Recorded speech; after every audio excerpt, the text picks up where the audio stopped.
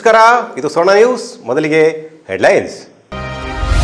ಕಸದ ರಾಶಿಯಲ್ಲಿ ಮುಳುಗಿದ ಮಂಡ್ಯದ ಪ್ರವಾಸಿ ಮಂದಿರ. ಹೈಟೆಕ್ ಅತಿಥಿಗಳು ಓಡಾಡೋ ಜಾಗ ಧನದ ಕೊಟ್ಟಿಗೆ. ಆವರಣದ ತುಂಬಲ ಪ್ಲಾಸ್ಟಿಕ್ ಬಾಟಲ್ಗಳ ಹಾವಳಿ. ಸ್ವರ್ಣ ಟಿವಿ ವಿಶೇಷ ವರದಿ. ಅತಿ ಆಸೆ ಗತಿಕೇಡು ಕಿರುಚಿತ್ರ ಮಹತ್ವ ಸಮಾರಂಭ. ಲೇಖಕ ಕೃಷ್ಣ ಸೋಣಚಂದ್ರ ನೇತೃತ್ವದಲ್ಲಿ ಯುವ ಪ್ರತಿಭೆಗಳ ಸಮಾಗಮ. ನೈಜ ಕತೆ ಆಧಾರಿತ ಮುನ್ನುಡಿ. ಮೈಶುಗರ್ ಖಾಸಗೀಕರಣಕ್ಕೆ ವ್ಯಾಪಕ ಖಂಡನೆ. ರೈತರು, ಯುವಕರು, ಮಹಿಳೆಯರು ಒಗ್ಗೂಡಲು ರೈತ ನಾಯಕಿ ಸುನಂದಾ ಜಯರಾಮ್ ಕರೆ ನವೆಂಬರ್ ಇಪ್ಪತ್ತೆಂಟರಂದು ಮಹತ್ವದ ಸಭೆ. ಮಂಡ್ಯ ಲಯನ್ ಸಂಸ್ಥೆಯ ಹಸಿವು ನಿವಾರಣಾ ಕೇಂದ್ರಕ್ಕೆ ನೂರನೇ ದಿನ. ಜಿಲ್ಲಾಸ್ಪತ್ರೆ ಆವರಣದಲ್ಲಿ ಉಚಿತ ಆಹಾರ ವಿತರಣೆ. ಪ್ರತಿದಿನ ಸಾವಿರದ ಇನ್ನೂರು ಜನರಿಗೆ ಅನ್ನದಾಸೋಹ. ಸ್ಥಳೀಯ ಮೆಕ್ಯಾನಿಕ್ಗಳಿಗೆ ಮಂಡ್ಯದಲ್ಲಿ ತರಬೇತಿ ಕಾರ್ಯಾಗಾರ. ಈ ಮಾಂಡವ್ಯ ಮೋಟಾರ್ಸ್ ಆಯೋಜನೆ ಗ್ರಾಹಕರ ಸಂಶಯ ನಿವಾರಣೆಗೆ ಪೂರಕ ಕಾರ್ಯಕ್ರಮ. ಗಮನ ಸೆಳೆದ ಸಾವಯವ ಸಂತೆ. ರೈತರು ಬೆಳೆದ ತಾಜಾ ತರಕಾರಿಗಳಿಗೆ ಭಾರಿ ಡಿಮ್ಯಾಂಡು. ಪ್ರತಿ ಭಾನುವಾರ ಒಮ್ಮೆ ಭೇಟಿ ಕೊಡಿ. ತೃತೀಯ ಲಿಂಗಿ ಮಂಜಮ್ಮ ಜೋಗತಿಗೆ ಮಂಡ್ಯದಲ್ಲಿ ಹೃದಯ ಸ್ಪರ್ಶಿ ಸನ್ಮಾನ. ನಂಜಮ್ಮ ಮೋಟೆಗೌಡ ಚಾರಿಟಬಲ್ ಟ್ರಸ್ಟ್ ಸನ್ಮಾನ ಸಿಕ್ಕಿದ್ದಕ್ಕೆ ಮನದಾಡದ ಧನ್ಯತೆ.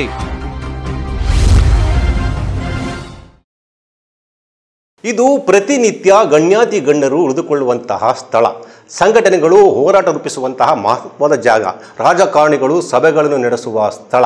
ಸರ್ಕಾರಗಳು ಸ್ವಚ್ಛ ಭಾರತ ಪಡಿಸ್ತಿದ್ರೆ ಇಲ್ಲಿ ಮಾತ್ರ ಎಲ್ಲೆಂದರಲ್ಲಿ ಕಸದ ರಾಶಿ ತುಂಬಿಕೊಂಡಿದೆ. ಪ್ಲಾಸ್ಟಿಕ್ ಬಾಟಲಿಗಳು ಎಲ್ಲೆಂದರಲ್ಲಿ ಬಿಸಾಡಿವೆ. ಶೌಚಾಲಯಗಳಂತೂ ಮುರಿದು ಬಿದ್ದಿವೆ. ಈ ಸ್ಥಳ ಯಾವುದು ಅಂದರೆ ಅದುವೇ ಮಂಡ್ಯ ನಗರದ ಹೃದಯ ಭಾಗದಲ್ಲಿರುವ ಪ್ರವಾಸಿ ಮಂದಿರ.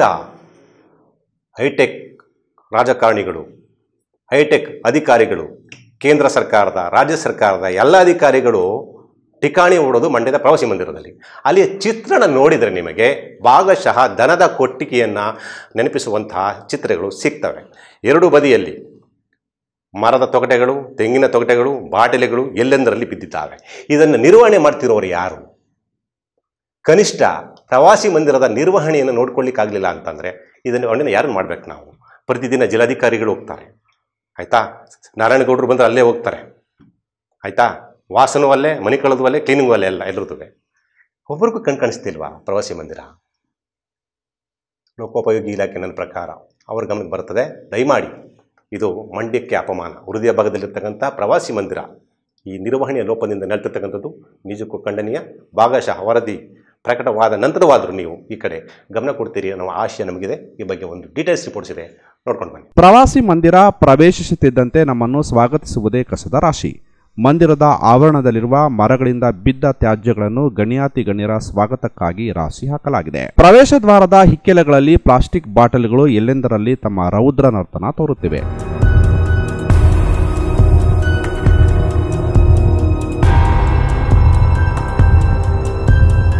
ಇನ್ನು ಶೌಚಾಲಯಗಳ ಸ್ಥಿತಿಯಂತೂ ಕೇಳುವಂತೆಯೇ ಇಲ್ಲ. ಮೃದು ಬಿದ್ದಿದ್ದು ಉಪಯೋಗಕ್ಕೆ ಬಾರದಂತಾಗಿದೆ. ಪ್ರವಾಸಿ ಮಂದಿರದಲ್ಲಿ ಅನೇಕ ಜನಪರ ಸಂಘಟನೆಗಳು ಸಭೆಗಳನ್ನು ಆಯೋಜಿಸುತ್ತವೆ. ಆದರೆ ಇಲ್ಲಿನ ದುಸ್ಥಿತಿ ಹೇಗಿದೆ ಎಂದರೆ ಸಭೆಗಾಗಿ ಅನುಮತಿ ಪಡೆದುಕೊಳ್ಳುವವರೇ ಪ್ರವಾಸಿ ಮಂದಿರವನ್ನು ಶುಚಿಗೊಳಿಸಿ ಸಭೆ ನಡೆಸಬೇಕಾದ ಅನಿವಾರ್ಯತೆ ಉಂಟಾಗಿದೆ. ಈ ಕುರಿತು ರೈತ ಸಂಘದ ಮುಖಂಡ ಅನಂತ ಕೃಷ್ಣ ವಿವರಿಸಿದ್ದು ಹೀಗೆ. ಮಂಡ್ಯ ಜಿಲ್ಲೆಗೆ ಏನು ಅನಿಸ್ ಕೂಡ ಹಾಕಿದ ಏನು ಅಂತ ಗೊತ್ತಿಲ್ಲ. ಎಂತೆಂತ ಒಳ್ಳೊಳ್ಳೆ ರಾಜಕಾರಣಿಗಳಿದ್ದಾರೆ. ಇದನ್ನ ಇದ್ರ ಬಗ್ಗೆ ಬಗೆಹರಿಸಿದಿಲ್ವಾ ಏನು ಇದನ್ನ ಮೇಂಟೆನೆನ್ಸ್ ಮಾಡೋಕ್ಕಿಂತ ಸಂಬಳ ಕೊಡ್ತಾರಲ್ಲ ಸರ್? ಯಾಕೆ ಹಿಂಗ್ ಮಾಡ್ತಾ ದಯವಿಟ್ಟು ನೋಡಿ ನಮ್ಮದು ರೈಸ್ ಅಂಗಡಿ ಇವತ್ತು ಮೀಟಿಂಗ್ ಆಯ್ತು ಆಯ್ತಾ? ನಾವೆಲ್ಲಿ ಅಲ್ಲಿ ನಾವೇ ಕಸ ಗುಡಿಸ್ಕೊಂಡು ನಾವೇ ಕೂತ್ಕೊಂಡು ಮೇಂಟೆನೆನ್ಸ್ ಮಾಡ್ಕೊಂಡು ಹೋಗೋದು ಇನ್ನಾದರೂ ಸಂಬಂಧಪಟ್ಟ ಅಧಿಕಾರಿಗಳು ಇತ್ತ ಗಮನ ಹರಿಸಿ ಪ್ರವಾಸಿ ಮಂದಿರವನ್ನು ಶುಚಿಗೊಳಿಸಿ ರಾಜ್ಯದ ವಿವಿಧ ಭಾಗಗಳಿಂದ ಆಗಮಿಸುವ ಗಣ್ಯರ ಮುಂದೆ ಸಕ್ಕರೆ ನಾಡಿನ ಮರ್ಯಾದೆ ಕಳೆಯದಿದ್ದರೆ ಅಷ್ಟೇ ಸಾಕು. ಪತ್ರಕರ್ತ ಹಾಗೂ ಲೇಖಕ ಕೃಷ್ಣ ಸೋಣಸುಂದರರವರ ನೇತೃತ್ವದಲ್ಲಿ ಯುವ ಪ್ರತಿಭೆಗಳ ಸಮಾಗಮದೊಂದಿಗೆ ಅತಿ ಆಸೆ ಗತಿ ಕೇಡು ಕಿರುಚಿತ್ರದ ಮುಹೂರ್ತ ಸಮಾರಂಭ ಮಂಡ್ಯ ತಾಲೂಕಿನ ಸಾತನೂರು ಶ್ರೀ ಲಕ್ಷ್ಮೀ ನರಸಿಂಹಸ್ವಾಮಿ ದೇವಾಲಯದ ಸಮೀಪವಿರುವ ಮಲೆ ಮಹದೇಶ್ವರ ದೇವಾಲಯದ ಬಳಿ ಆರಂಭವಾಯಿತು. ಹಿರಿಯ ಪತ್ರಕರ್ತ ಕೃಷ್ಣ ಸೋಣಸುಂದರವರು ಗುಡ್ಡೆಬಾಡು ಅನ್ನುವಂತಹ ಚಿತ್ರವನ್ನು ಈಗಾಗಲೇ ಸ್ವತಃ ಕಥೆ ಬರೆದು ನಿರ್ಮಾಣ ಮಾಡಿದ್ದಾರೆ. ಇದು ಅವರ ಎರಡನೇ ಕಿರುಚಿತ್ರ ಅನ್ನುವಂಥದ್ದು ಹೊಸ ಪ್ರತಿಭೆಗಳು. ಮದನಗೌಡ ಹಾಗೂ ಶಿಲ್ಪ ಅನ್ನುವಂತಹ ಯುವ ನಾಯಕ ನಾಯಕಿಯನ್ನು ಇಟ್ಕೊಂಡು ಈ ಚಿತ್ರವನ್ನು ಅವರು ನಿರ್ದೇಶನ ಮಾಡ್ತಿದ್ದಾರೆ ಅನ್ನುವಂಥದ್ದು. ಅದು ಹದಿನೈದು ಮತ್ತು ಇಪ್ಪತ್ತು ನಿಮಿಷಗಳ ಕಿರುಚಿತ್ರ. ವಿಶೇಷ ಏನು ಅಂತಂದರೆ ಅದು ನೈಜ ಘಟನೆ ಆಧಾರಿತವಾದಂತಹ ಚಿತ್ರ. ಮಂಡ್ಯದ ವಿವಿಧ ಭಾಗಗಳಲ್ಲಿ ನಿರಂತರವಾಗಿ ಚಿತ್ರೀಕರಣ ನಡೆಯುತ್ತೆ. ಅದು ಇಂದಿನಿಂದ ಆರಂಭವಾಗಿದೆ. ಸಾತನೂರು ಸಮೀಪದ ಮಲೆ ಮಹದೇಶ್ವರ ಸಮೀಪದ ಜಾಗದಲ್ಲಿ ಇವತ್ತು ಪೂಜಾ ವಿಧಾನಗಳು ಅದ್ದೂರಿಯಾಗಿ ನಡೆದವು. ಗಣ್ಯಾತಿ ಗಣ್ಯರು ಕೂಡ ಈ ಕಾರ್ಯಕ್ರಮಕ್ಕೆ ಬಂದಿದ್ದರು ಈ ಬಗ್ಗೆ ಒಂದು ವರದಿ ಇದೆ. ನೋಡ್ಕೊಂಡು. ಕಿರುಚಿತ್ರದ ಮುಹೂರ್ತದ ಅಂಗವಾಗಿ ಮಲೆ ಮಹದೇಶ್ವರ ಸ್ವಾಮಿಗೆ ವಿಶೇಷ ರೀತಿಯಲ್ಲಿ ಅಲಂಕರಿಸಿ ಪೂಜಾ ವಿಧಾನಗಳನ್ನು ನೆರವೇರಿಸಲಾಯಿತು. ನಂತರ ಚಿತ್ರದ ಕ್ಲಾಪ್ ಬೋರ್ಡ್ ಹಾಗೂ ಸ್ಕ್ರಿಪ್ಟ್ಗೆ ವಿಶೇಷ ಪೂಜೆ ಸಲ್ಲಿಸಲಾಯಿತು. ಜೆಡಿಎಸ್ನ ಯುವ ಮುಖಂಡರಾದ ತಗಹಳ್ಳಿ ವೆಂಕಟೇಶ್ ರವರು ಅತಿ ಆಸೆ ಗತಿ ಕೇಡು ಚಿತ್ರಕ್ಕೆ ಕ್ಲಾಪ್ ಮಾಡುವ ಮೂಲಕ ಚಾಲನೆ ನೀಡಿದರು. ನಂತರ ಮಾತನಾಡಿದ ಅವರು, ಪತ್ರಕರ್ತ ಕೃಷ್ಣ ಸ್ವರ್ಣಚಂದ್ರರವರ ನೇತೃತ್ವದಲ್ಲಿ ಆರಂಭವಾಗಿರುವ ಕಿರುಚಿತ್ರ ಯಶಸ್ವಿಯಾಗಲಿ ಎಂದು ಹಾರೈಸಿದರು. ಹೊಸದಾಗಿ ಅಭಿನಯ ಮಾಡ್ತಿರ್ತಕ್ಕಂಥ ನೂತನ ನಟ ನಟಿಯರು ಮತ್ತು ಪೋಷಕ ವರ್ಗ, ಇನ್ನೂ ಅನೇಕ ನಟ ನಟಿಯರಿದ್ದಾರೆ ಅವರು ಅತ್ಯುತ್ತಮವಾಗಿ ಚಿತ್ರದಲ್ಲಿ ಕಿರುಚಿತ್ರ ಅಭಿನಯಿಸಿ ಒಂದು ಯಶಸ್ವಿಯನ್ನ ತರಲಿ ಅಂತ ಹೇಳಿ ನಾನು ಶುಭಾರೈಸ್ತೇನೆ. ಯುವ ಪ್ರತಿಭೆಗಳಾದ ಮದನ್ ಗೌಡ ಹಾಗೂ ಶಿಲ್ಪಾ ಜೋಯಪ್ಪರವರು ದೇವರಿಗೆ ಪೂಜೆ ಸಲ್ಲಿಸುವ ದೃಶ್ಯವನ್ನು ಚಿತ್ರೀಕರಿಸಿಕೊಳ್ಳಲಾಯಿತು. ಈ ಸಂದರ್ಭದಲ್ಲಿ ಮಾತನಾಡಿದ ನಾಯಕ ನಟ ಹಾಗೂ ನಾಯಕಿ ಈ ಚಿತ್ರದಲ್ಲಿ ವಿಶೇಷ ಸಂದೇಶವಿದೆ. ಅತಿ ಆಸೆ ಪಟ್ಟರೆ ಏನೆಲ್ಲ ಅವಾಂತರಗಳು ಘಟಿಸುತ್ತವೆ ಎಂಬ ಸಂದೇಶ ಚಿತ್ರದಲ್ಲಿದೆ ಎಂದರು. ಮೊದಲ ಬಾರಿಗೆ ಚಲನಚಿತ್ರದಲ್ಲಿ ನಟನೆ ಮಾಡ್ತಾ ಇರೋದು ತುಂಬಾ ಖುಷಿಯಾಗಿ ಖುಷಿ ಅನ್ಸುತ್ತೆ. ಮತ್ತೆ ಈ ಫಿಲಂ ಸ್ಟೋರಿ ಬಂದು ಆಸೆ ಪಡಬೇಕು ಮನುಷ್ಯನಿಗೆ ಬಟ್ ಅತಿ ಆಸೆ ಇರಬಾರ್ದು ಅಂತ ಈ ಫಿಲಮ್ ಉತ್ತರ ಕೊಡುತ್ತೆ. ಇದೊಂದು ಶಾರ್ಟ್ ಮೂವಿ ಇದು ಅತಿ ಆಸೆ ಗತಿಗೇಡು ಅಂತ ಅತಿಯಾಗಿ ಆಸೆ ಪಟ್ಟರೆ ಏನಾಗುತ್ತೆ ಅನ್ನೋದು ಥೀಮು ಈಗಾಗಲೇ ಗುಡ್ಡೆಬಾಡು ಚಿತ್ರವನ್ನು ನಿರ್ಮಿಸಿ ಚಿತ್ರಿಸಿರುವ ಅತಿ ಆಸೆ ಗತಿ ಕೇಡು ಚಿತ್ರದ ಸಾರಥಿ ಕೃಷ್ಣ ಸ್ವರ್ಣಸಂದ್ರ ಮಾತನಾಡಿ ಕನಕಪುರ ತಾಲೂಕಿನಲ್ಲಿ ನಡೆದ ನಿಜ ಘಟನೆಯನ್ನೇ ಆಧರಿಸಿರುವ ರೈತ ಪ್ರಧಾನ ಕತೆ ಇದಾಗಿದೆ ಎಂದು ಹೇಳಿದರು. ಅತಿಯಾಸೆ ಗತಿ ಕೇಡು. ಒಂದು ಕನಕಪುರ ತಾಲೂಕಿನಲ್ಲಿ ಒಂದು ರಿಯಲ್ ಆಗಿ ನಡೆದಿರ್ತಕ್ಕಂಥ ಕತೆ ಇದು. ಆ ಕಥೆಯನ್ನು ತಗೊಂಡು ಒಂದು ಕುವೆಂಪು, ನಾ, ಕುವೆಂಪು ಹೇಳದಂತೆ, ನೇಗಿಲೆ ಮೇಲೆ ನಿಂತಿದ್ದ ಧರ್ಮ, ನೇಗಿಲ ಒಳಗೆ ಇದೆ ಕರ್ಮ ಅಂತ ಹೇಳಿದಾಗೆ ಈ ಕಥೆಯನ್ನ ರೈತರ ಪ್ರಧಾನವಾಗಿ ಇಟ್ಕೊಂಡು ಕಥೆಯನ್ನ ಮಾಡ್ತಾ ಇದ್ದೀವಿ. ಸ್ವರ್ಣವಾಹಿನಿಯ ಪ್ರಧಾನ ಸಂಪಾದಕರಾದ ಕಬ್ಬನಹಳ್ಳಿ ಶಂಭೂರವರು ಕ್ಯಾಮೆರಾ ಸ್ವಿಚ್ ಆನ್ ಮಾಡಿದರು. ಚಿತ್ರದ ಸಹ ನಿರ್ದೇಶಕರಾದ ಗೊರವಾಲೆ ಮಹೇಶ್ ಮಾತನಾಡಿ ಹೊಸಬರ ಪ್ರಯತ್ನದೊಂದಿಗೆ ಆರಂಭವಾಗಿರುವ ಕಿರುಚಿತ್ರವನ್ನು ಮಂಡ್ಯದ ಸುತ್ತಮುತ್ತ ಚಿತ್ರೀಕರಿಸಲಾಗುವುದು ಎಂದು ಹೇಳಿದರು. ಯುವ ನಟ ಮದನ್ ಗೌಡರು ಹಾಗೂ ಉದಯೋನ್ಮುಖಿ ಶಿಲ್ಪ ಅವರು. ಆ, ಕೃಷ್ಣ ಸೋಣಸನವರೇ ರಚಿಸಿ ನಿರ್ದೇಶನ ಮಾಡ್ತಾ ಇರ್ತಕ್ಕಂಥ ಈ ಸಿನಿಮಾ ಕಿರುಚಿತ್ರ. ತುಂಬ ಚೆನ್ನಾಗಿ ಮೂಡು ಬರುತ್ತೆ. ಮತ್ತೆ ಇವತ್ತಿನ ವಾಸ್ತವತೆಗೆ ತುಂಬಾ ಹತ್ತಿರವಾಗಿರ್ತಕ್ಕಂಥದ್ದು. ಈ ಸಂದರ್ಭದಲ್ಲಿ ಪತ್ರಕರ್ತರಾದ ಚನ್ನಪ್ಪ ಸೇರಿದಂತೆ ಇನ್ನಿತರರು ಹಾಜರಿದ್ದರು. ಮಂಡ್ಯ ಜಿಲ್ಲೆಯ ಸ್ವಾಭಿಮಾನದ ಸಂಕೇತವಾಗಿರುವ ಮೈಸೂಗರ್ ಕಾರ್ಖಾನೆ ಉಳಿಸಿಕೊಳ್ಳಲು ಜಿಲ್ಲೆಯ ರೈತರು ಕೂಲಿಕಾರರು ವಿದ್ಯಾರ್ಥಿಗಳು ಯುವ ಜನರು ಬೀದಿಗಿಳಿದು ಹೋರಾಟ ಮಾಡಬೇಕು ಎಂದು ಮಂಡ್ಯ ಜಿಲ್ಲಾ ರೈತ ಹಿತರಕ್ಷಣಾ ಸಮಿತಿಯ ಸಂಘಟನಾ ಕಾರ್ಯದರ್ಶಿಗಳಾದ ಸುನಂದ ಜಯರಾಮ್ ಮಂಡ್ಯದಲ್ಲಿ ಕರೆ ನೀಡಿದ್ದಾರೆ. ಎಲ್ಲರೂ ಕರೆ ಕೊಟ್ಟಾಯಿತು. ಎಲ್ಲರೂ ಬೀದಿ ಬಂದಾಯಿತು. ಪ್ರತಿಭಟನೆಗಳು ನಡೆದಾಯಿತು. ಆಕ್ರೋಶ ವ್ಯಕ್ತವಾಯಿತು. ಈಗ ಸುನಂದ ಜಯರಾಮ್ರವರು ಟಾರ್ಗೆಟ್ ಯಾರಿಗೆ ಅಂತಂದರೆ ಯುವ ಜನರೇ, ವಿದ್ಯಾರ್ಥಿಗಳೇ, ಕೂಲಿಕಾರರೇ, ರೈತರೇ, ಬನ್ನಿ ಎಂದರು. ಅವ್ರು ತಾನು ಏನು ಮಾಡ್ತಾರೆ? ಮಾಡಬಾರ್ದೆಲ್ಲ ಹೋರಾಟ ಮಾಡಿ ಸಾಕಾಯಿತು. ಎಲ್ಲ ಆಯ್ತು ಪಾಪ. ಕ್ಲೈಮ್ಯಾಕ್ಸ್ ಇದು ಯುವ ಜನರಿಗೆ ಕರೆ ಕೊಟ್ಟಿದ್ದಾರೆ. ನೋಡೋಣ, ಸಕ್ಕರ ನಾಡಿನ ಯುವ ಜನರು. ರಕ್ತ ಕೊಟ್ಟಿರುವ ಅದೇನೋ ರಕ್ತ ಕೊಟ್ಟರು ನೀರು ಬಿಡೆವು ಅಂತ ಹೇಳೋ ನಮ್ಮ ಮಂಡ್ಯದ ಯುವ ಜನರು ಏನಾದರೂ ಈ ಮೈಸೂರು ಉಳಿವಿಗೆ ಕೈ ಕೊಡ್ತಾರಾ?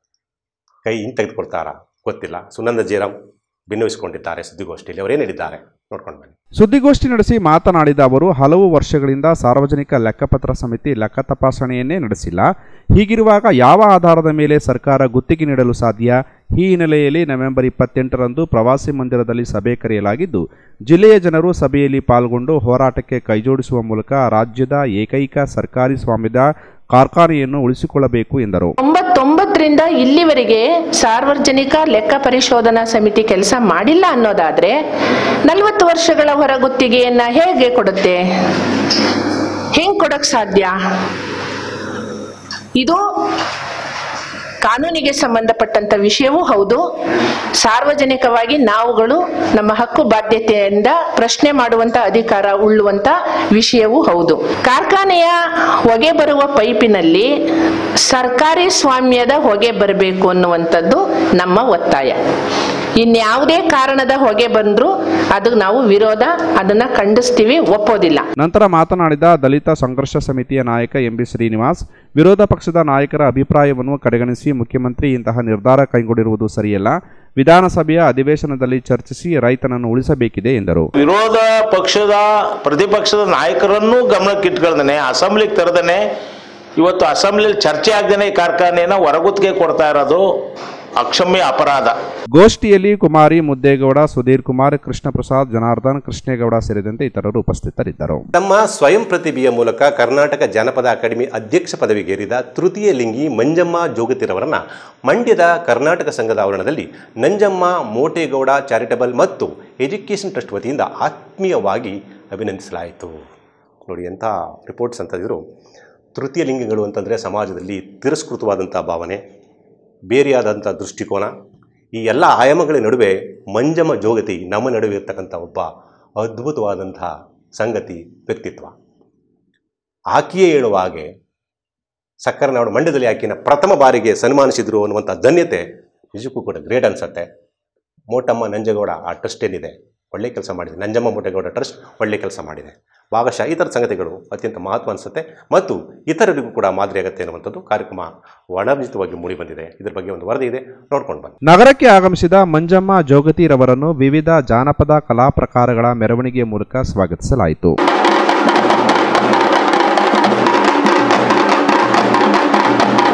ಕಾರ್ಯಕ್ರಮವನ್ನು ಹಿರಿಯ ಸಾಹಿತಿಗಳಾದ ಡಾಕ್ಟರ್ ಜಗದೀಶ್ ಕೊಪ್ಪ ಉದ್ಘಾಟಿಸಿದರು. ನಂತರ ಮಾತನಾಡಿದ ಅವರು, ಅತ್ಯಂತ ಹೆಚ್ಚು ಜಾನಪದ ಕಲೆಗಳ ಪ್ರಕಾರಗಳು ಜೀವಂತವಾಗಿರುವುದು ಮಂಡ್ಯದಲ್ಲಿ ಮಾತ್ರ. ಇದು ಸಕ್ಕರೆ ನಾಡಿನ ಹೆಮ್ಮೆಯ ವಿಷಯ ಎಂದರು. ಜಾನಪದದ ತೊಟ್ಟಿಲುಗಳು ನಮ್ಮ ವಿದ್ವಾಂಸರು ಗುರುತಿಸಿದ್ದಾರೆ. ಅತ್ಯಂತ ಹೆಚ್ಚು ಜಾನಪದ ಪ್ರಕಾರಗಳು, ಕಲೆಗಳು ಜೀವಂತವಿರುವುದು ಮಂಡ್ಯ ಮತ್ತು ಬಿಜಾಪುರ. ಅಂತ ಮಂಡ್ಯ ಜಿಲ್ಲೆಯ ಮಣ್ಣಿನಿಂದ ಈ ಜನರ ಪ್ರೀತಿಯಿಂದ ನಿಮ್ಮನ್ನ ಇವತ್ತು ಅಭಿನಂದಿಸ್ತಾ ಇದ್ದೀವಿ. ನಂತರ ಮಂಜಮ್ಮ ಜೋಗತಿರವರನ್ನು ಆತ್ಮೀಯವಾಗಿ ಅಭಿನಂದಿಸಲಾಯಿತು.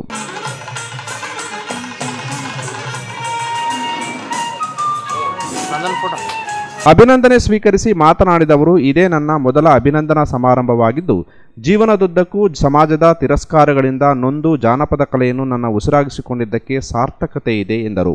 ನನ್ನ ಕಲಾ ಜೀವನದಲ್ಲಿ ಅಭಿನಂದನಾ ಸಮಾರಂಭ ಇದೇ ಇವತ್ತು ಮಂಡ್ಯ ಜಿಲ್ಲೆಯಲ್ಲಿ.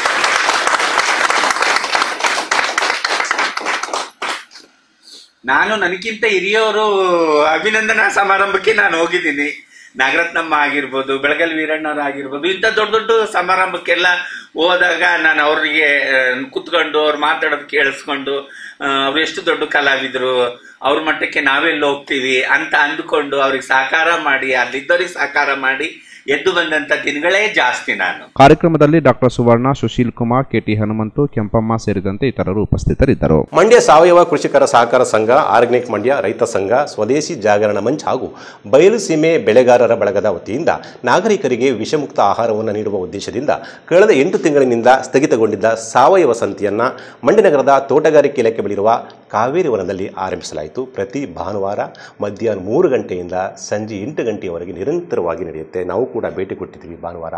ಅದ್ಭುತವಾದಂತಹ, ಆ ತಾಜಾ ತರಕಾರಿಗಳು, ಸೊಪ್ಪುಗಳು ಅಲ್ಲಿ ಲಭ್ಯವಾಗ್ತವೆ. ರೈತರೇ ನೇರವಾಗಿ ಮಾರಾಟ ಮಾಡ್ತಾರೆ. ರೈಟು ಕೂಡ ಅಷ್ಟು ದುಬಾರಿ ಅಂತ ಅನಿಸೋದಿಲ್ಲ. ಸೊ ಹಂಗಾಗಿ ಪ್ರತಿ ಭಾನುವಾರ ಎಲ್ಲೆಲ್ಲೂ ಟೈಮ್ ವೇಸ್ಟ್ ಮಾಡ್ತೀರಲ್ಲ? ಸಂಜೆ ಬೆಲೆ ಒಂದು ಸುಮ್ಮನೆ ಗಂಡ ನಿಮ್ಮ ಹೆಂಡ್ತಿರು ಕರ್ಕೊಂಡು ಅಥವಾ ನಿಮ್ಮ ಸ್ನೇಹಿತರು ಕರ್ಕೊಂಡು ಸುಮ್ಮನೆ ಒಂದು ಬ್ಯಾಗ್ ಇಟ್ಕೊಂಡು ಹೋಗಿ. ಆಯಿತಾ? ಒಳ್ಳೆಯ ಆಹಾರ ಸಿಗುತ್ತೆ, ತಾಜಾ ಆಹಾರ ಸಿಗುತ್ತೆ. ಮಂಡ್ಯ ಆರ್ಗ್ಯಾನಿಕ್ ಸಂಘ ಈ ಈ ಒಂದು ಸಂಘಟನೆ ಮಾಡಿದೆ. ನಿಜಕ್ಕೂ ಕೂಡ ಒಳ್ಳೆ ಕಾರ್ಯಕ್ರಮ. ಪ್ರತಿ ಭಾನುವಾರ ಒಮ್ಮೆ ಭೇಟಿ ಕೊಟ್ಟು ಬನ್ನಿ. ಜಿಲ್ಲಾ ತೋಟಗಾರಿಕೆ ಇಲಾಖೆಯ ಆವರಣದಲ್ಲಿ ಆರಂಭವಾದ ಸಾವಯವ ಸಂತೆಗೆ ಉತ್ತಮ ಸ್ಪಂದನೆ ವ್ಯಕ್ತವಾಯಿತು. ರೈತರು ಸ್ವತಃ ತಮ್ಮ ಜಮೀನಿನಲ್ಲಿ ಬೆಳೆದಿದ್ದ ತಾಜಾ ತರಕಾರಿಗಳು, ಸೊಪ್ಪು, ಹಣ್ಣುಗಳನ್ನು ಸಾವಯವ ಸಂತೆಯಲ್ಲಿ ಮಾರಾಟ ಮಾಡಿದರು. ಇದಲ್ಲದೆ ಸಿರಿಧಾನ್ಯಗಳಾದ ನವಣೆ, ಸಜ್ಜೆ, ಆರ್ಕ, ಜೋಳ, ಪಪ್ಪಾಯಿ, ಟೊಮೆಟೊ ಸೇರಿದಂತೆ ಹತ್ತು ಹಲವು ಪದಾರ್ಥಗಳು ರೈತರ ಸಂತೆಯಲ್ಲಿ ಗಮನ ಸೆಳೆದವು.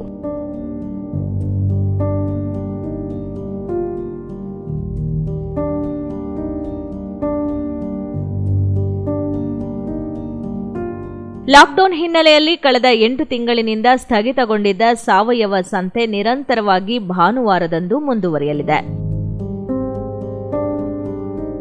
ಮಂಡ್ಯ ಸಕ್ಕರೆ ಕಾರ್ಖಾನೆ, ಪಾಂಡುಪುರ ಸಕ್ಕರೆ ಕಾರ್ಖಾನೆ, ಬೆಳಗೋಳ ಪೇಪರ್ ಮಿಲ್ಸ್ ಕಾರ್ಖಾನೆ ಮುಚ್ಚುವ ಸ್ಥಿತಿಯಲ್ಲಿದ್ದು, ಆ ಸಮಯದಲ್ಲಿ ಯಾವ ಮುಖ್ಯಮಂತ್ರಿಯನ್ನು ಭೇಟಿ ಮಾಡಿದವರು ಕೇವಲ ಡಿಸಿಸಿ ಬ್ಯಾಂಕ್ಸ್ ಅಧ್ಯಕ್ಷ ಚುನಾವಣೆಯಲ್ಲಿ ಕಾಂಗ್ರೆಸ್ಸನ್ನು ಅಧಿಕಾರಕ್ಕೆ ಬರದಂತೆ ತಡೆಗಟ್ಟಲು ರಾತ್ರೋರಾತ್ರಿ ಬಿಜೆಪಿಯ ಮುಖ್ಯಮಂತ್ರಿ ಯಡಿಯೂರಪ್ಪರವರನ್ನು ಭೇಟಿ ಮಾಡಿರುವುದು ಜೆಡಿಎಸ್ನ ರಾಜಕೀಯ ದಿವಾಳಿತನವನ್ನು ತೋರಿಸ್ತದೆ ಅಂತ ಮಾಜಿ ಶಾಸಕ ಚೆಲುವರಾಯಸ್ವಾಮಿ ನಾಗಮಂಗಲದಲ್ಲಿ ಟೀಕಿಸಿದ್ದಾರೆ. ಆದಿಚುಂಚನಗಿರಿ ಕಾಲಭೈರವೇಶ್ವರನಿಗೆ ವಿಶೇಷ ಪೂಜೆ ಸಲ್ಲಿಸಿ ನಂತರ ಮಾಧ್ಯಮದವರೊಂದಿಗೆ ಮಾತನಾಡಿದ ಅವರು, ಡಿಸಿಸಿ ಬ್ಯಾಂಕ್ಗೆ ಇತ್ತೀಚೆಗೆ ನಡೆದ ಚುನಾವಣೆಯಲ್ಲಿ ಏಳು ನಿರ್ದೇಶಕರು ಕಾಂಗ್ರೆಸ್ನಿಂದ ಆಯ್ಕೆಯಾಗಿದ್ದು, ಜೆಡಿಎಸ್ನಿಂದ ಕೇವಲ ನಾಲ್ಕು ಜನರು ಆಯ್ಕೆಯಾಗಿರುವುದು ಜಿಲ್ಲೆಯ ಸಹಕಾರ ಸಂಘಗಳ ಚುನಾವಣೆಯಲ್ಲಿ ಜೆಡಿಎಸ್ ನೆಲಕಚ್ಚಿರುವುದನ್ನು ಸೂಚಿಸುತ್ತದೆ. ಪಕ್ಷೇತರರೊಬ್ಬರನ್ನ ಮುಂದಿಟ್ಟುಕೊಂಡು ಬಿಜೆಪಿಯೊಂದಿಗೆ ಒಡಂಬಡಿಕೆ ಮಾಡಿಕೊಂಡು ಅಧ್ಯಕ್ಷ ಸ್ಥಾನವನ್ನ ಬಿಟ್ಟುಕೊಟ್ಟಿರುವುದು ಪಕ್ಷ ತಲುಪಿರುವ ಹೀನಾಯ ಸ್ಥಿತಿಯನ್ನು ತೋರಿಸುತ್ತದೆ ಎಂದು ಲೇವಡಿ ಮಾಡಿದರು.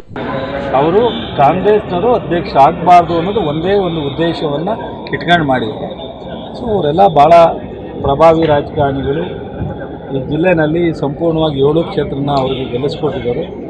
ಜಿಲ್ಲೆ ಜನರ ದೃಷ್ಟಿ ಅವರು ಮುಖ್ಯ ಆಗಲ್ಲ. ವೈಯಕ್ತಿಕ ಹಿತಾಸಕ್ತಿನೇ ಮುಖ್ಯ ಆಗುತ್ತೆ. ಅದನ್ನು ಜನ ತೀರ್ಮಾನ ಮಾಡ್ತಾರೆ ಮುಂದಿನ ಸಂದರ್ಭಗಳು ಬಂದಾಗ. ಸೊ ಇದು ನಮ್ಗೇನು ಹಿನ್ನಡೆ ಅಂತ ನಾನು ಅನ್ಕೊಂಡೇ ಇಲ್ಲ. ಡಿ ಸಿ ಬ್ಯಾಂಕಿನ ಅಧ್ಯಕ್ಷ ಚುನಾವಣೆಯಲ್ಲಿ ಏನು ಅವ್ರು ಮಾಡಿದ್ದಾರೆ ಪ್ರಕ್ರಿಯೆ, ಇದರಿಂದ ಅವ್ರಿಗೆ ಹಿನ್ನಡೆ ಆಗುತ್ತೆ ವಿನ. ನಮಗೆ ಸಾರ್ವಜನಿಕವಾಗಿ ಜನರು ನಮ್ಮನ್ನು ಹಿನ್ನಡೆ ಆಗಲ್ಲ ಅಂತ ಹೇಳಿ ನಾನು ಅನ್ಕೊಂಡಿದ್ದೀನಿ. ಅತ್ಯಂತ ರಮಣೀಯವಾಗಿರುವ ಮೇಲುಕೋಟೆಯನ್ನು ಮುಖ್ಯಮಂತ್ರಿ ಯಡಿಯೂರಪ್ಪ ನೇತೃತ್ವದ ಸರ್ಕಾರ ಸುಸಜ್ಜಿತ ಧಾರ್ಮಿಕ ಪ್ರವಾಸಿ ಕೇಂದ್ರವನ್ನಾಗಿ ಅಭಿವೃದ್ಧಿಪಡಿಸಿದೆ ಎಂದು ಪ್ರಾಥಮಿಕ ಮತ್ತು ಪ್ರೌಢ ಶಿಕ್ಷಣ ಸಚಿವರಾದ ಸುರೇಶ್ ಕುಮಾರ್ ತಿಳಿಸಿದ್ದಾರೆ.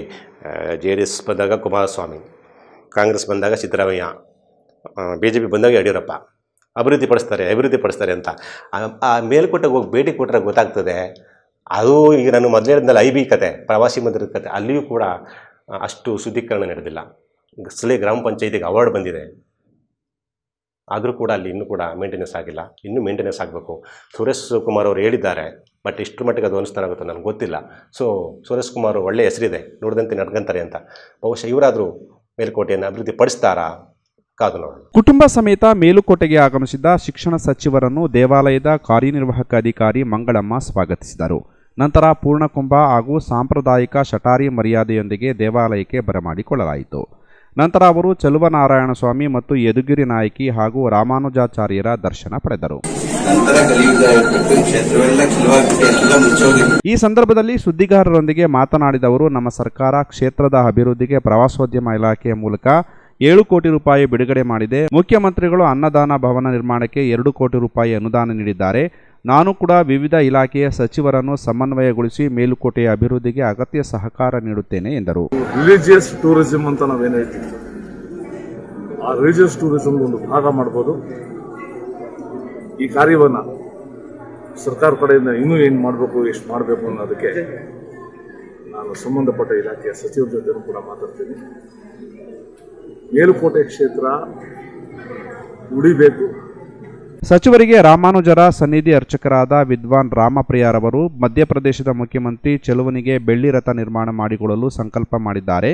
ತಾವು ಸಹ ತಮ್ಮ ಮುಖ್ಯಮಂತ್ರಿ ಯಡಿಯೂರಪ್ಪ ಅವರ ಗಮನ ಸೆಳೆದು ಕರ್ನಾಟಕ ಸರ್ಕಾರದ ವತಿಯಿಂದ ಜಾತ್ರಾ ಮಹೋತ್ಸವದಲ್ಲಿ ಮಹಾರಥ ಮಾಡಿಸಿಕೊಳ್ಳಲು ಸಹಕಾರ ನೀಡಬೇಕು ಎಂದು ಮನವಿ ಮಾಡಿದರು. ಈ ವೇಳೆ ರಘುನಂದನ್, ಮಲ್ಲೇಶ್ವರಿ, ತಿಮ್ಮರಾಯಿಗೌಡ ಮಂಗಳಮ್ಮ, ಸಂತಾನ್ ರಾಮನ್, ಬೆಟ್ಟಸ್ವಾಮಿಗೌಡ, ಸೋಮಶೇಖರ್ ಸೇರಿದಂತೆ ಇತರರು ಉಪಸ್ಥಿತರಿದ್ದರು. ಮಾಡಿ ಶಾಸಕ ಚೆಲುವರಾಯಸ್ವಾಮಿ ಕೊರೋನಾದಿಂದ ಆರೋಗ್ಯವಾಗಿ ಹೊರಬಂದ ಹಿನ್ನೆಲೆಯಲ್ಲಿ ನಾಗಮಂಗಲ ತಾಲೂಕಿಗೆ ಭೇಟಿ ಕೊಟ್ಟಿದ್ದು, ಅವರ ಅಭಿಮಾನಿಗಳು ಪಟ್ಟಣದ ಇತಿಹಾಸ ಪ್ರಸಿದ್ಧ ಸೌಮ್ಯ ಕೇಶವ ದೇವಸ್ಥಾನದಲ್ಲಿ ವಿಶೇಷ ಪೂಜೆ ಸಲ್ಲಿಸಿದರು. ಇದಕ್ಕೆ ಹೇಳಿದ್ದು, ಮನುಷ್ಯನಿಗೆ ಅಧಿಕಾರ ಬೇಕು ಅಂತ.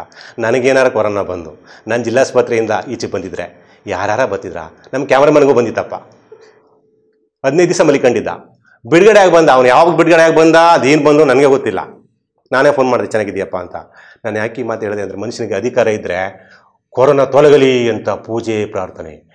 ಬಿಡುಗಡೆಗೊಂಡ ಮೇಲೆ ಅವ್ರಿಗೆ ಭವ್ಯ ಸ್ವಾಗತ. ಅಧಿಕಾರ ಬೇಕು. ದುಡ್ಡು, ಮನುಷ್ಯನಿಗೆ ದುಡ್ಡು. ನಮ್ಮಂಥವ್ರು ಯಾರು ಬಂದರೂ ಏನೂ ಇಲ್ಲ. ಕೊರೋನಾ ಬಂದ್ರೆ ನಮ್ಮನ್ನ ನಾವೇ ಮನಿಕಬೇಕು. ಸೊ ಪ್ರ, ಪುಣ್ಯ ಮಾಡಿದರು ನಮ್ಮ ಸಚಿವರು, ಮಾಜಿ ಸಚಿವ ಶಿವರಾಯ ಸ್ವಾಮಿ ಒಳ್ಳೆ ಕೆಲಸ, ವಿಶೇಷ ಪೂಜೆ ಮಾಡಿದ್ದಾರಂತೆ. ಏನಿದೆ ಕಾರ್ಯಕ್ರಮ? ನೋಡ್ಕೊಂಡು ಇದಕ್ಕೂ ಮೊದಲು ಆದಿಚುಂಚನಗಿರಿಯ ಕಾಲಭೈರವೇಶ್ವರ ಸನ್ನಿಧಿಗೆ ಪೂಜೆ ಸಲ್ಲಿಸಿದ ನಂತರ ನಾಗಮಂಗಲಕ್ಕೆ ಭೇಟಿ ನೀಡಿದ್ದ ಮಾಜಿ ಪಿಎಲ್ಡಿ ಬ್ಯಾಂಕ್ ಅಧ್ಯಕ್ಷ ತಟ್ಟಹಳ್ಳಿ ನರಸಿಂಹಮೂರ್ತಿ ಮತ್ತು ವಸಂತ್ ರವಿಕಾಂತೇಗೌಡ ಅವರ ನೇತೃತ್ವದಲ್ಲಿ ಸಂಭ್ರಮದಿಂದ ಚಲವರಾಯಸ್ವಾಮಿಯವರನ್ನು ಬರಮಾಡಿಕೊಂಡರು. ಮೊದಲು ಗಣಪತಿಗೆ ಪೂಜೆ ಸಲ್ಲಿಸಿ ನಂತರ ಸೌಮ್ಯಕೇಶವ ಸ್ವಾಮಿಗೆ ಸಕಲ ಷೋಡಶೋಪಚಾರದೊಂದಿಗೆ ಪೂಜೆ ಸಲ್ಲಿಸಲಾಯಿತು. ಕೋವಿಡ್ ನೈನ್ಟೀನ್ ಅವರಿಗೆ ಪಾಸಿಟಿವ್ ಬಂದಿದ್ದ ಉದ್ದೇಶದಿಂದ. ಅವರು ಇಲ್ಲಿವರೆಗೂ ಆಲಯ ಸುಮಾರು ದಿನದಿಂದ ನಮ್ಮ ತಾಲೂಕಿನ ವ್ಯಾಪ್ತಿಗೆ ಬಂದು ಹೆಡ್ ಕ್ವಾರ್ಟರ್ ಬಂದಿರಲಿಲ್ಲ. ಆದ್ದರಿಂದ ಇವತ್ತು ಬರ್ತಾ ಇದ್ದಾರೆ. ಈ ಸಂದರ್ಭದಲ್ಲಿ ಚಂದ್ರು ಮಧುರಾಜ್ ದಾಸೇಗೌಡ ಮುಂತಾದವರು ಹಾಜರಿದ್ದರು. ಕರ್ನಾಟಕ ದಲಿತ ಸಂಘರ್ಷ ಸಮಿತಿ ಮಂಡ್ಯ ಜಿಲ್ಲೆ ಘಟಕದ ವತಿಯಿಂದ ಒಳ ಮೀಸಲಾತಿಯ ಅಸ್ತ್ರ ದಲಿತ ಮುಂದಿನ ಸವಾಲುಗಳು ಕುರಿತು ಜಿಲ್ಲಾ ಮಟ್ಟದ ಸಂವಾದ ಕಾರ್ಯಕ್ರಮ ಮಂಡ್ಯ ನಗರದ ರೈತ ಸಭಾಂಗಣದಲ್ಲಿ ಯಶಸ್ವಿಯಾಗಿ ನಡೆಯಿತು. ಕಾರ್ಯಕ್ರಮವನ್ನು ಜಿಲ್ಲಾ ಸಂಚಾಲಕರಾದ ನಂಜುಂಡ ಮೌರ್ಯ ಉದ್ಘಾಟಿಸಿದರು.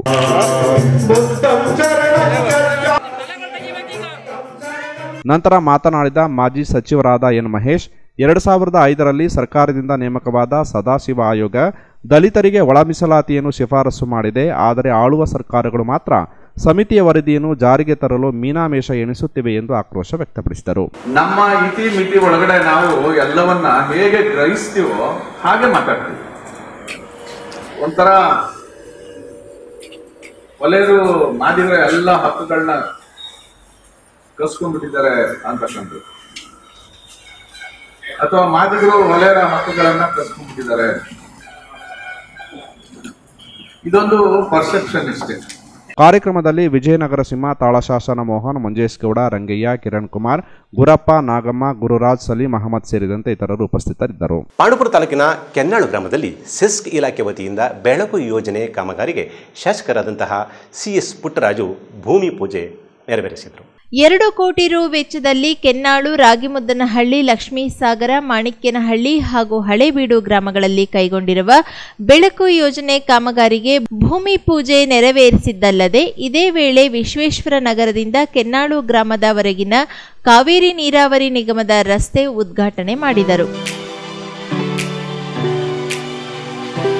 ಈ ವೇಳೆ ಶಾಸಕ ಸಿಎಸ್ ಪುಟ್ಟರಾಜು ಅವರನ್ನು ಸೇಬಿನ ಹಾರ ಹಾಕಿ ಸನ್ಮಾನಿಸಲಾಯಿತು.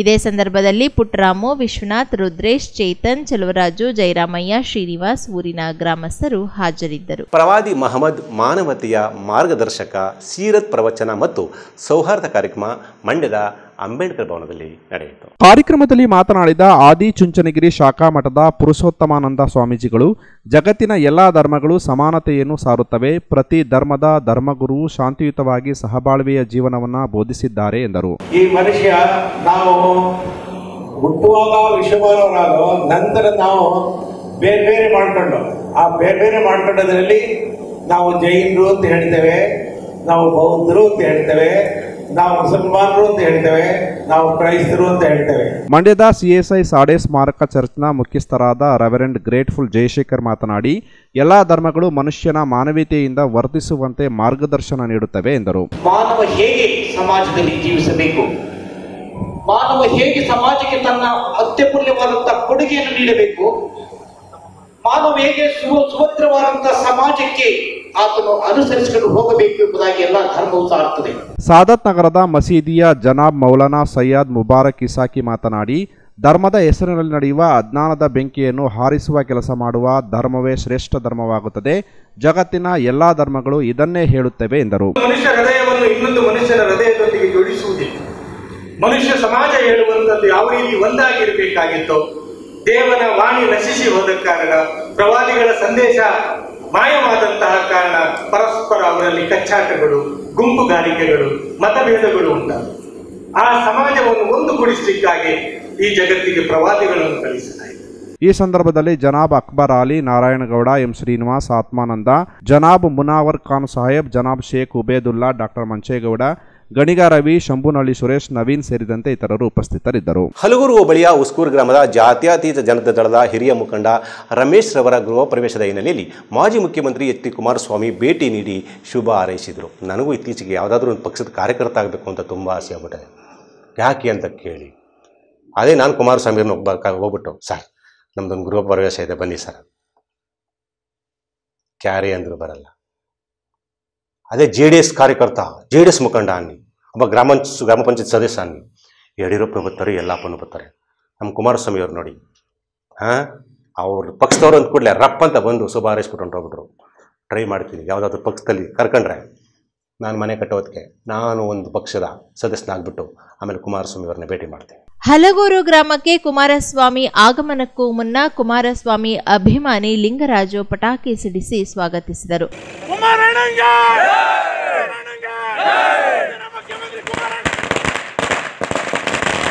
ನಂತರ ಮುಖಂಡರಾದ ರಮೇಶ್ ಮಾತನಾಡಿ, ನಾನು ಸುಮಾರು ವರ್ಷಗಳಿಂದ ಜೆಡಿಎಸ್ ಪಕ್ಷದಲ್ಲಿ ಇದ್ದೇನೆ. ನಾನು ಮಳವಳ್ಳಿ ತಾಲೂಕು ಜೆಡಿಎಸ್ ಅಧ್ಯಕ್ಷನಾಗಿ ಹಾಗೂ ಜೆಡಿಎಸ್ ಜಿಲ್ಲಾ ಉಪಾಧ್ಯಕ್ಷನಾಗಿದ್ದೆ. ಗ್ರಾಮೀಣ ಪ್ರದೇಶದ ನಮ್ಮಂತಹ ಸಾಮಾನ್ಯ ಕಾರ್ಯಕರ್ತರ ಮನೆಗೆ ಮಾಜಿ ಮುಖ್ಯಮಂತ್ರಿಗಳು, ರಾಜ್ಯದ ಜನಪ್ರಿಯ ನಾಯಕರಾದ ಕುಮಾರಣ್ಣ ಮನೆಗೆ ಬಂದಿರುವುದು ನಮಗೆಲ್ಲ ಸಂತಸವನ್ನ ತಂದಿದೆ ಎಂದರು. ಮಾಜಿ ಮುಖ್ಯಮಂತ್ರಿಗಳು, ನನ್ನ ನಾಯಕರಾದಂತಹ ಮುಖ್ಯಮಂತ್ರಿಗಳು ಎಚ್ ಡಿ. ಕುಮಾರಸ್ವಾಮಿ ಅವರು ಇವತ್ತು ನನ್ನ ಮನೆಗೆ ಬಂದಿರೋದ್ರಿಂದ ನನಗಾಗ ಒಂದು ತುಂಬಲಾರ್ದ ಭಾರಿ ಖುಷಿ ಆಗ್ತಾ ಇದೆ. ಇನ್ನು ಮುಂದೆ ನಾನು ಸಕ್ರಿಯವಾಗಿ ಪಕ್ಷದಲ್ಲಿ ಕೆಲಸ ಮಾಡ್ಕೊಂಡು ಹೋಗುವಂತ ಅಭಿಲಾಷೆ ನನಗೆ ಹುಮ್ಮಸ್ಸು. ಇನ್ನು ಮುಂದೆ ಬರುತ್ತೆ ಅಂತೇಳಿ ನಾನು ಅವ್ರು ತಿಳ್ಕೊಂಡು. ಇದೇ ಸಂದರ್ಭದಲ್ಲಿ ಶಾಸಕ ಡಾಕ್ಟರ್ ಕೆ ಅನ್ನದಾನಿ ರವಿ ಕಂಸಸಾಗರ ನಿಂಗರಾಜು ಮಲ್ಲೇಗೌಡ ಸೋಮಶೇಖರ್ ರವೀಶ್ ಗೌಡ ಸೇರಿದಂತೆ ಹಲವರು ಹಾಜರಿದ್ದರು. ಲಯನ್ ಸಂಸ್ಥೆಗಳ ಒಕ್ಕೂಟ ಮುನ್ನೂರ ಹದಿನೇಳು ಎ ವತಿಯಿಂದ ಮಂಡ್ಯದ ಜಿಲ್ಲಾಸ್ಪತ್ರೆ ಆವರಣದಲ್ಲಿ ತೆರೆದಿರುವ ಹಸಿವು ನಿವಾರಣೆ ಕೇಂದ್ರದ ನೂರನೇ ದಿನದ ಅಂಗವಾಗಿ ರೋಗಿಗಳ ಸಹಾಯಕರಿಗೆ ಉಚಿತ ಆಹಾರವನ್ನು ವಿತರಿಸಲಾಯಿತು. ಇದು ಮಾನವೀಯ ಕೆಲಸ, ಸರ್ವರು ಕೂಡ ಮಾಡಲೇಬೇಕಾದಂತಹ ಕೆಲಸ. ಹಸಿದವರಿಗೆ ಅನ್ನ ಕೊಡುವಂಥದ್ದು ಮಹತ್ವದ ಕೆಲಸ ಮತ್ತು ದೇವರ ಕೆಲಸ ಅಂತ ಕರೀತಾರೆ. ಲಯನ್ ಸಂಸ್ಥೆ ಈ ಕೆಲಸವನ್ನು ನಿರಂತರವಾಗಿ ನೂರು ದಿನಗಳ ಕಾಲ ಮಾಡಿದೆ. ನಿಜಕ್ಕೂ ಗ್ರೇಟ್ ಇದು. ಲಯನ್ ಜಿ ರಮೇಶ್ ಅವರು ಮುನ್ನೂರು ಹದಿನೇಳು ಎ ಅದರ ರಾಜ್ಯಪಾಲರ ನೇತೃತ್ವದಲ್ಲಿ ಈ ಕಾರ್ಯಕ್ರಮ ನಡೀತದೆ. ಅಲ್ಲಿನ ಪೋಷಕರು ಗರ್ಭಿಣಿಯರಿಗೆ ಬೇಕಾದಂಥ ಆಹಾರವನ್ನು ಉಚಿತವಾಗಿ ನೂರು ದಿನ ಕೊಟ್ಟಿದ್ದಾರೆ. ಅದರ ಸಾರ್ಥಕತೆಯ ಫಲವಾಗಿ ನೂರನೇ ದಿನ ಸಂಭ್ರಮದ ದಿನವನ್ನಾಗಿ ಅವರು ಆಚರಣೆ ಮಾಡಿದರು. ಕಾರ್ಯಕ್ರಮ ಹೇಗಿತ್ತು ನೋಡ್ಕೊಂಡು. ಮುನ್ನೂರು ಹದಿನೇಳು ಎ ಜಿಲ್ಲಾ ರಾಜ್ಯಪಾಲರಾದ ಡಾಕ್ಟರ್ ಜಿ ಎ ರಮೇಶ್ ಉಚಿತ ಆಹಾರ ವಿತರಿಸಿದರು.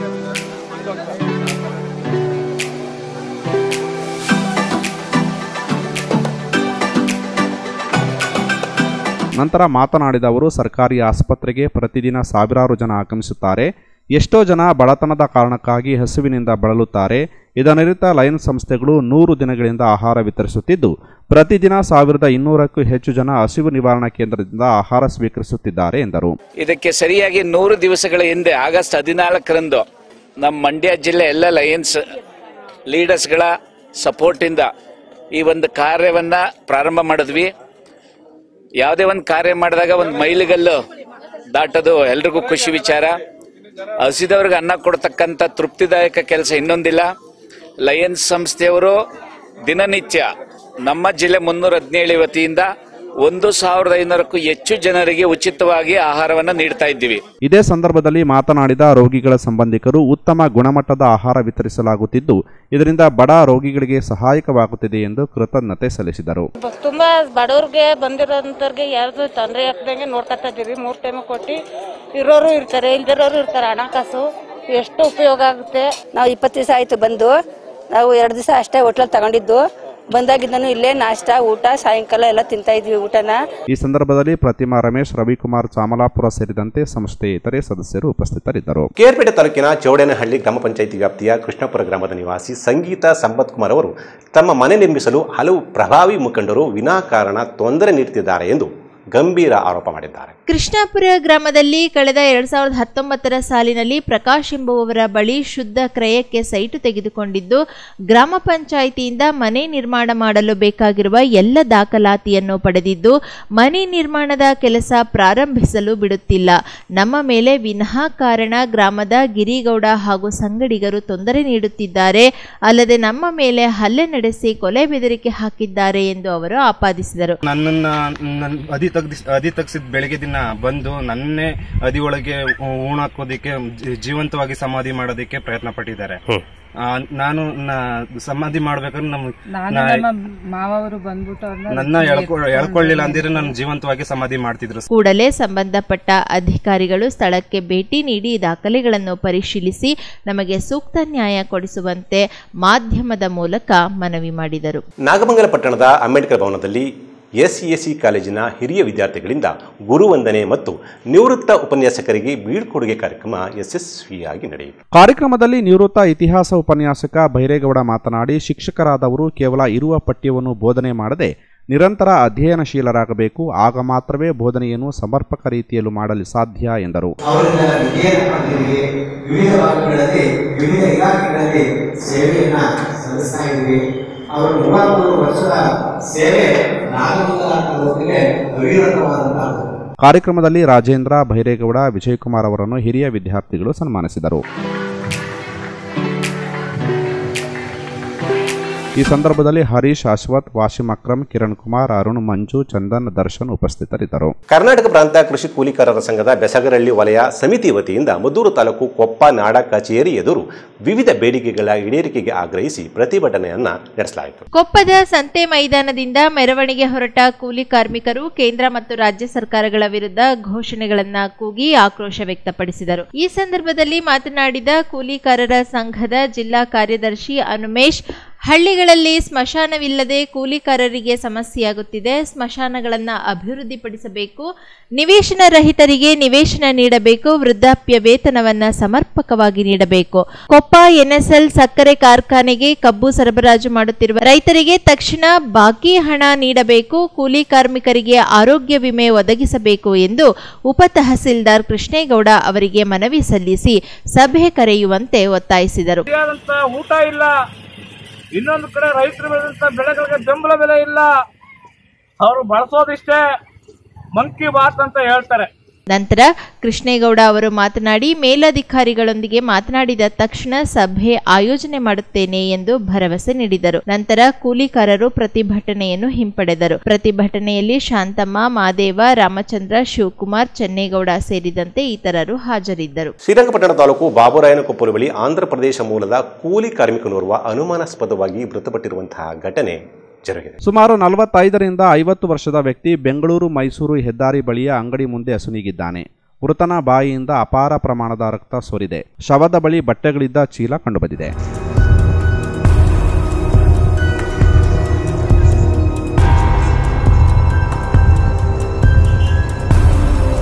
ಸ್ಥಳಕ್ಕೆ ಡಿವೈಎಸ್ಪಿ ಅರುಣ್ ನಾಗೇಗೌಡ, ಸಿಪಿಐಡಿ ಯೋಗೇಶ್ ರೇಖಾ ಸೇರಿದಂತೆ ಇತರರು ಭೇಟಿ ನೀಡಿ ಪರಿಶೀಲನೆ ನಡೆಸಿದ್ದಾರೆ. ಶವವನ್ನು ಮೈಸೂರಿನ ಕೆಆರ್ ಆಸ್ಪತ್ರೆಯ ಶವಾಗಾರದಲ್ಲಿ ಇರಿಸಲಾಗಿದೆ. ಕರ್ನಾಟಕ ರಾಜ್ಯ ಮುಕ್ತ ವಿಶ್ವವಿದ್ಯಾನಿಲಯದ ದಾವಣಗೆರೆ ಪ್ರಾದೇಶಿಕ ಕೇಂದ್ರದಲ್ಲಿ ನಿರ್ದೇಶಕನಾಗಿ ಕಾರ್ಯನಿರ್ವಹಿಸುತ್ತಿರುವ ನನಗೆ ಮಂಡ್ಯ ಪ್ರಾದೇಶಿಕ ಕೇಂದ್ರಕ್ಕೆ ವರ್ಗಾವಣೆಯಾಗದ ಕಾರಣ ಶೈಕ್ಷಣಿಕ ಚಟುವಟಿಕೆಗಳಲ್ಲಿ ತೊಡಗಿಸಿಕೊಳ್ಳಲು ಸಾಧ್ಯವಾಗುತ್ತಿಲ್ಲ ಎಂದು ರಾಜ್ಯ ಶೈಕ್ಷಣಿಕ ದಿಕ್ಸೂಚಿ ಮತ್ತು ಸುಧಾರಣಾ ಸಮಿತಿಯ ಅಧ್ಯಕ್ಷರಾದ ಡಾಕ್ಟರ್ ಸುಧಾಕರ ಹೊಸಹಳ್ಳಿ ಮಂಡ್ಯದಲ್ಲಿ ತಿಳಿಸಿದರು.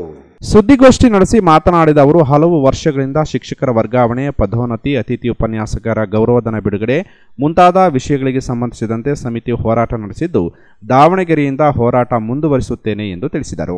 ಈ ವಿಮುಖ ಆಗೋದಿದೆಯಲ್ಲ, ಯಾವುದೇ ಒಬ್ಬ ಅಧಿಕಾರಿಗೆ, ಇದು ನಾನು ದಾವಣಗೆರೆ, ಹಾವೇರಿ, ಚಿತ್ರದುರ್ಗ ಮೂರು ಜಿಲ್ಲೆಯ ಅಧಿಕಾರಿಯ ಕೆಲಸ ಮಾಡ್ತೇನೆ.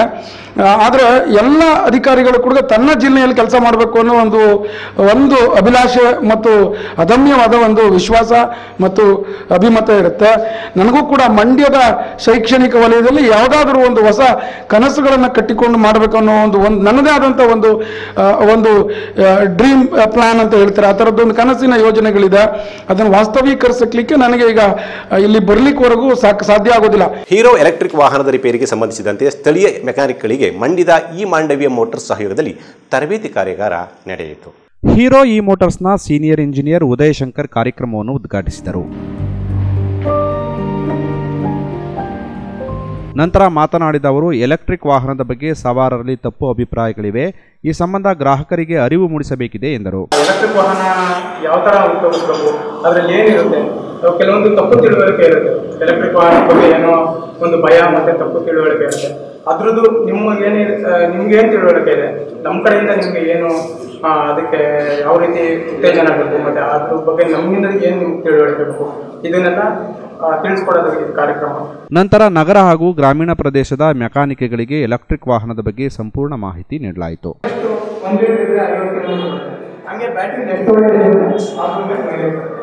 ನೆಕ್ಸ್ಟ್ ಇಂಜಿನ್ ಮತ್ತೆ ಗೇರ್ ಬಾಕ್ಸ್ ಇರುತ್ತೆ. ಈ ಸಂದರ್ಭದಲ್ಲಿ ಮಾತನಾಡಿದ ಈ ಮಾಂಡವ್ಯ ಮೋಟಾರ್ಸ್ನ ಮುಖ್ಯಸ್ಥರಾದ ವಿನಯ್ ಕುಮಾರ್, ಗ್ರಾಹಕರಿಗೆ ಹಾಗೂ ಲೋಕಲ್ ಮೆಕ್ಯಾನಿಕ್ಗಳಿಗೆ ಎಲೆಕ್ಟ್ರಿಕ್ ವಾಹನದ ಬಗ್ಗೆ ಸಂಶಯಗಳನ್ನು ಪರಿಹರಿಸುವ ಸಲುವಾಗಿ ಈ ಕಾರ್ಯಾಗಾರ ಏರ್ಪಡಿಸಲಾಗಿದೆ ಎಂದರು. ಹೀರೋ ಎಲೆಕ್ಟ್ರಿಕ್ ವೆಹಿಕಲ್ ಶೋರೂಮ್ ಮತ್ತು ಸರ್ವಿಸ್ ಸೆಂಟರ್ನಲ್ಲಿ ನಮ್ಮ ಹೀರೋ ಎಲೆಕ್ಟ್ರಿಕ್ ವೆಹಿಕಲ್ಸ್ನ ಸೀನಿಯರ್ ಸರ್ವಿಸ್ ಇಂಜಿನಿಯರ್ಗಳು ಹಾಗೂ ಬಿ ಟು ಬಿ ಇಂಜಿನಿಯರ್ಗಳು ಹಾಗೂ ಇನ್ನಿತರ ಇಂಜಿನಿಯರ್ಗಳು ಬಂದು ಮಂಡ್ಯ ನಗರದಲ್ಲಿರುವಂತಹ ಲೋಕಲ್ ಮೆಕ್ಯಾನಿಕ್ಗಳಿಗೆ ತರಬೇತಿ ಕಾರ್ಯಾಗಾರವನ್ನು ಏರ್ಪಾಟು ಮಾಡಿದ್ದಾರೆ. ಈ ಕಾರ್ಯಾಗಾರದಲ್ಲಿ ಮಂಡ್ಯ ನಗರ ಹಾಗೂ ನಗರೇತರ ಅಂದರೆ ಸ್ವಲ್ಪ ದೂರದಲ್ಲಿರೋರು ಮೆಕ್ಯಾನಿಕ್ಗಳು ಫೋರ್ಮ್ಯಾನ್ಗಳು ಸಹ ಭಾಗವಹಿಸಿದ್ದಾರೆ. ಈ ಸಂದರ್ಭದಲ್ಲಿ ಕಿರಣ್ ರೋಹಿತ್ ಉಪಸ್ಥಿತರಿದ್ದರು. ಕೊನೆಯಲ್ಲಿ ಮತ್ತೊಮ್ಮೆ ಹೆಡ್ಲೈನ್ಸ್ ಕಸದ ರಾಶಿಯಲ್ಲಿ ಮುಳುಗಿದ ಮಂಡ್ಯದ ಪ್ರವಾಸಿ ಮಂದಿರ ಹೈಟೆಕ್ ಅತಿಥಿಗಳು ಓಡಾಡೋ ಜಾಗ ಧನದ ಕೊಟ್ಟಿಗೆ ಆವರಣದ ತುಂಬಲ ಪ್ಲಾಸ್ಟಿಕ್ ಬಾಟಲ್ಗಳ ಹಾವಳಿ ಕೊರೋನಾ ಟಿವಿ ವಿಶೇಷ ವರದಿ. ಅತಿ ಆಸೆ ಗತಿಕೇಡು ಕಿರುಚಿತ್ರ ಮಹತ್ವ ಸಮಾರಂಭ. ಲೇಖಕ ಕೃಷ್ಣ ಸೋಣಚಂದ್ರ ನೇತೃತ್ವದಲ್ಲಿ ಯುವ ಪ್ರತಿಭೆಗಳ ಸಮಾಗಮ. ನೈಜ ಕತೆ ಆಧಾರಿತ ಮುನ್ನುಡಿ. ಮೈಶುಗರ್ ಖಾಸಗೀಕರಣಕ್ಕೆ ವ್ಯಾಪಕ ಖಂಡನೆ. ರೈತರು, ಯುವಕರು, ಮಹಿಳೆಯರು ಒಗ್ಗೂಡಲು ರೈತ ನಾಯಕಿ ಸುನಂದಾ ಜಯರಾಮ್ ಕರೆ ನವೆಂಬರ್ ಇಪ್ಪತ್ತೆಂಟರಂದು ಮಹತ್ವದ ಸಭೆ. ಮಂಡ್ಯ ಲಯನ್ ಸಂಸ್ಥೆಯ ಹಸಿವು ನಿವಾರಣಾ ಕೇಂದ್ರಕ್ಕೆ ನೂರನೇ ದಿನ. ಜಿಲ್ಲಾಸ್ಪತ್ರೆ ಆವರಣದಲ್ಲಿ ಉಚಿತ ಆಹಾರ ವಿತರಣೆ. ಪ್ರತಿದಿನ ಸಾವಿರದ ಇನ್ನೂರು ಜನರಿಗೆ ಅನ್ನದಾಸೋಹ. ಸ್ಥಳೀಯ ಮೆಕ್ಯಾನಿಕ್ಗಳಿಗೆ ಮಂಡ್ಯದಲ್ಲಿ ತರಬೇತಿ ಕಾರ್ಯಾಗಾರ. ಈ ಮಾಂಡವ್ಯ ಮೋಟಾರ್ಸ್ ಆಯೋಜನೆ ಗ್ರಾಹಕರ ಸಂಶಯ ನಿವಾರಣೆಗೆ ಪೂರಕ ಕಾರ್ಯಕ್ರಮ. ಗಮನ ಸೆಳೆದ ಸಾವಯವ ಸಂತೆ, ರೈತರು ಬೆಳೆದ ತಾಜಾ ತರಕಾರಿಗಳಿಗೆ ಭಾರಿ ಡಿಮ್ಯಾಂಡು. ಪ್ರತಿ ಭಾನುವಾರ ಒಮ್ಮೆ ಭೇಟಿ ಕೊಡಿ. ತೃತೀಯ ಲಿಂಗಿ ಮಂಜಮ್ಮ ಜೋಗತಿಗೆ ಮಂಡ್ಯದಲ್ಲಿ ಹೃದಯ ಸ್ಪರ್ಶಿ ಸನ್ಮಾನ. ನಂಜಮ್ಮ ಮೋಟೆಗೌಡ ಚಾರಿಟಬಲ್ ಟ್ರಸ್ಟ್ ಆಯೋಜನೆ. ಸನ್ಮಾನ ಸಿಕ್ಕಿದ್ದಕ್ಕೆ ಮನದಾಡದ ಧನ್ಯತೆ.